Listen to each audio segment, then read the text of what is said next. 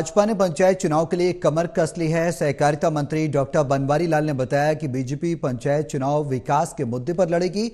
वहीं उन्होंने यह भी बताया कि प्रदेश की चीनी मिलों की माली हालत सुधारने की दिशा में सरकार काम कर रही है। साथ ही उन्होंने कहा कि पानीपत और करनाल शुगर मिल में जल्द एथेनॉल प्लांट लगाए जाएँगे, जबकि शाहबाद शुगर मिल में एथेनॉल बनना शुरू भी हो गया है।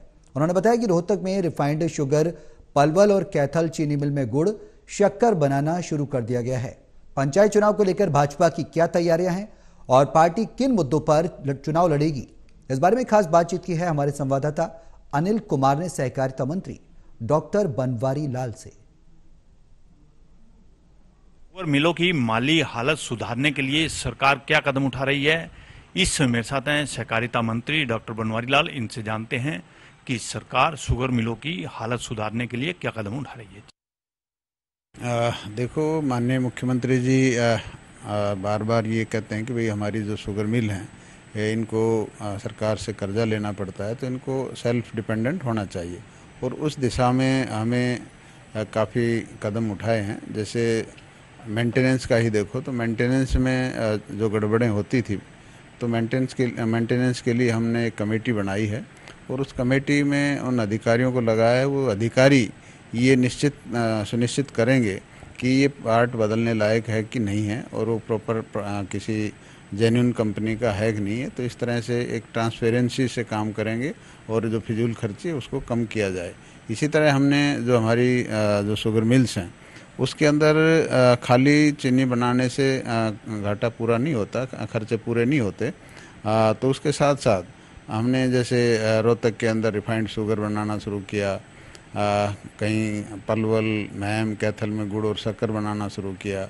इसी तरह कैथल में हमने बगास से ब्रेकेट बनाने शुरू किए फ्यूल ब्रेकेट्स बनाने शुरू किए। और शाहबाद के अंदर एथनॉल प्लांट लगाया, एथनॉल बनना शुरू हो गया है। और इसी तरह, और जो हमारी शुगर मिल्स हैं, चाहे पानीपत है, करनाल है, इनके अंदर भी डीपीआर बन चुकी है और जल्दी ही इनके अंदर भी एथनॉल प्लांट लगाया जाएगा। ताकि जो हमारे किसानों के जो गन्ने की पेमेंट वो समय पर हो सके और जो गन्ना मिल हैं इनका भी घाटा पूरा हो सके। मंत्री जी जो किसानों की गन्ने की पेमेंट थी वो पूरा भुगतान हो चुका है या अभी कई मिलों ने भुगतान करना है? हमारे अभी आपने भी देखा होगा पिछले दो तीन साल से हमने प्रॉपर टाइम पर किसानों की गन्ने की पेमेंट की है। और कहीं भी आपको प्रदेश के अंदर किसानों की तरफ़ से कोई विरोध या कोई धरना प्रदर्शन आपको देखने को नहीं मिला होगा। और इस साल भी हमने समय पर पेमेंट सभी किसानों की कर दी है। किसी भी किसान की करने की पेमेंट बकाया नहीं है। मंत्री जी पंचायत चुनाव को लेकर भाजपा की क्या तैयारियाँ हैं?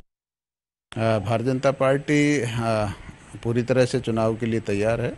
और काफ़ी दिनों से हमारे प्रदेश अध्यक्ष माननीय ओम प्रकाश धनखड़ जी भी बार बार ज़िले लेवल पर और मीटिंगें ले रहे हैं संगठन के साथ बैठकर चर्चा कर रहे हैं और सभी ज़िलों में उन्होंने प्रभारी भी लगाए हैं और सभी प्रभारी हर ज़िले में जा कर के लोगों से फीडबैक भी लिया है पदाधिकारियों से फीडबैक भी लिया है कि हमें जो चुनाव है पंचायत का, उसको सिंबल से लड़ना चाहिए या बिना सिंबल पे लड़ना चाहिए।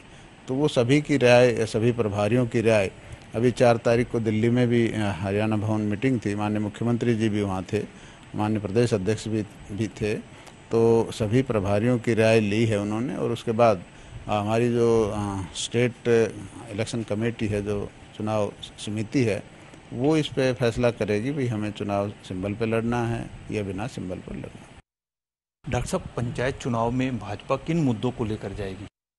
देखो पिछले आठ साल के अंदर माननीय मुख्यमंत्री मनोहर लाल जी के कुशल नेतृत्व में जिस तरह से सबका साथ, सबका विकास और बिना भेदभाव के, बिना भ्रष्टाचार के, बिना इलाकावाद के जिस तरह से विकास कार्य पूरे प्रदेश के अंदर हुए हैं तो विकास का ही हमारा एक मुद्दा रहेगा और जो नौकरियों में ट्रांसपेरेंसी है, बिना मतलब उसके भ्रष्टाचार के और योग्यता के आधार पर जो नौकरियाँ देने का काम और माननीय मुख्यमंत्री जी ने जो अंत्योदय के सिद्धांत पर जिस तरह से परिवार पहचान पत्र बनाए हैं और उनके ज़रिए जो सबसे गरीब हैं हमारे समाज के अंदर उन लोगों का जीवन सत्र ऊँचा उठाने के लिए अंत्योदय के तहत और परिवार पहचान पत्र को आधार से जोड़कर उनको जो सुविधाएँ देने का काम अंत्योदय मेले लगाकर ब्लॉक लेवल पर ज़िले लेवल पर ये काम हमारी आ, सरकार कर रही है और हमारा जो मेन जो सरकार जनता के सामने होगा विकास का मुद्दा ही रहेगा।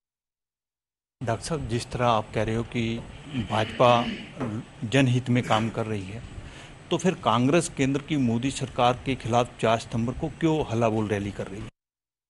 विपक्ष का काम है विरोध करना वो अपना काम कर रहे हैं, लेकिन हमारी जो सरकार है, चाहे केंद्र की सरकार हो, माननीय प्रधानमंत्री नरेंद्र मोदी जी के नेतृत्व में, चाहे हरियाणा के अंदर, माननीय मुख्यमंत्री मनोहर लाल जी के नेतृत्व में, जिस तरह से सरकार जनहित कार्य कर रही है और उससे लोग खुश भी हैं और दिख भी रहा है, क्योंकि अभी आपने देखा होगा जो हमारे नगर परिषद के या नगर पालिका के चुनाव हुए हैं, उन चुनावों में भी भारतीय जनता पार्टी ने अच्छा प्रदर्शन किया है तो लोग इस बात को मानते हैं कि भारतीय जनता पार्टी की सरकार में बड़ा अच्छा काम हुआ है।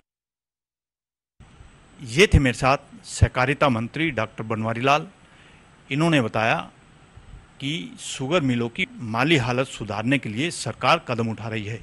वहीं इन्होंने ये भी बताया कि भाजपा विकास के मुद्दे पर पंचायत चुनाव लड़ेगी। Anil Kumar total news Chandigarh.